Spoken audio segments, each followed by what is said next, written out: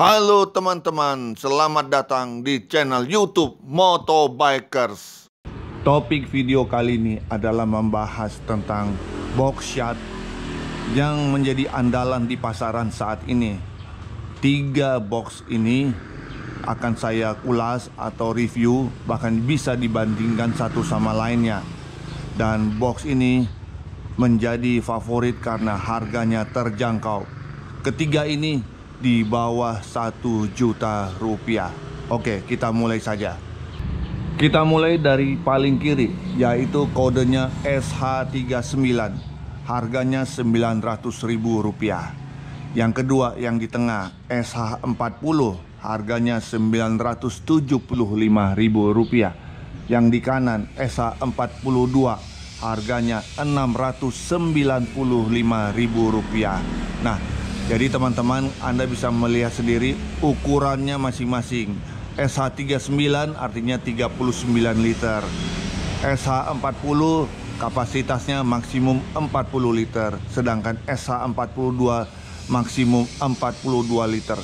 Jadi di antara ketiga ini yang paling besar adalah SH42 secara logika SH42 ini harusnya harganya lebih mahal tetapi terbalik harganya bahkan lebih murah yaitu Rp695.000 Perlu teman-teman ketahui bahwa saya mengulas tentang box shot ini adalah tentang kebutuhan. Jadi video ini dibuat bagi mereka yang betul-betul membutuhkan box motor di mana sebagai pengendara motor kita perlu untuk menyimpan barang-barang yang penting atau barang berharga ke dalam sebuah tempat yang paling aman. Nah, salah satu alternatif yang paling aman adalah menyimpan barang berharga di dalam box. Apalagi saat ini di musim hujan, kita membutuhkan tempat yang tahan air ya. Jangan sampai bocor kemudian barang-barang kita rusak kena air. Nah, saya di sini hanya memberikan edukasi bahwa menggunakan box itu sangat penting untuk keamanan, kenyamanan dalam kita berkendara sepeda motor. Perlu diketahui teman-teman bahwa base plate atau tatakan yang digunakan untuk ketiga box ini adalah sama.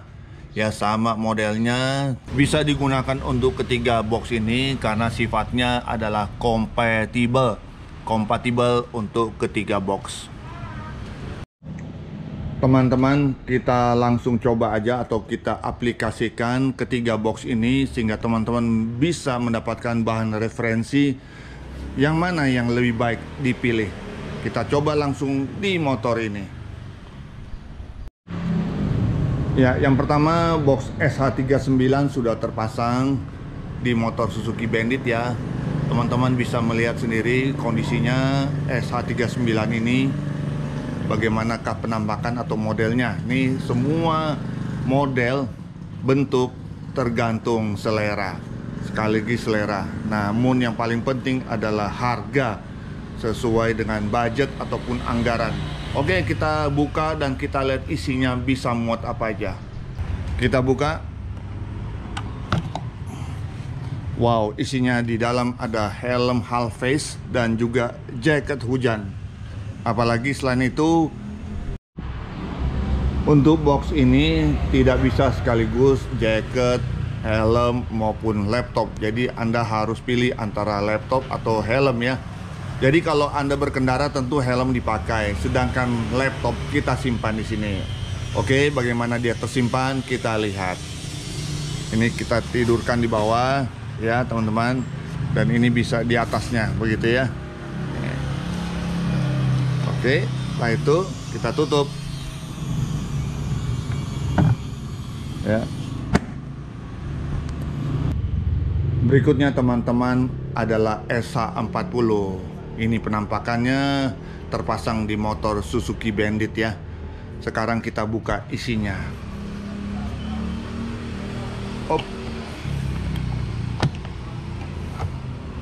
Ya ini dia bisa memuat satu helm half face Berikut dengan jaket hujan Bagaimana dengan laptop?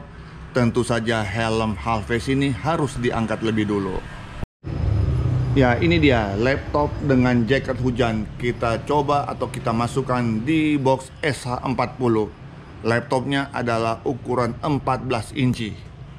Kita tidurkan saja teman-teman ya. Nah, begitu langsung saja. Dan di sini masih ada rongga atau ruangan yang bisa diisi. Berikut di sini masih ada dan di sini juga masih ada. Jadi masih muat barang-barang yang lainnya. Kita tutup ya teman-teman. Oke. Oke. Selanjutnya kita pasang SH42. Jadi teman-teman lihat dulu bentuknya agak pipih ya. Apakah helm half face ini masuk di dalam? Kita lihat saja. Kita buka.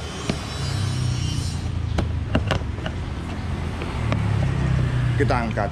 Wow, ternyata helm half face muat di SH42 ditambah dengan jaket hujan. Masih ada rongga di sini teman-teman ini juga masih ada rongga di sini ya jadi bisa muat banyak bagaimana dengan laptop tentunya helm ini harus diangkat dulu tampak di sini laptop 14 inci berekut dengan jaket hujan sudah siap dimuat di dalam box SH42 langsung saja kita rebahkan laptop ini bla dan masih ada rongga di sini masih ada rongga di sini tentunya ada rongga yang luas di sini rekan-rekan atau teman-teman bisa memuat barang-barang berharga yang lainnya.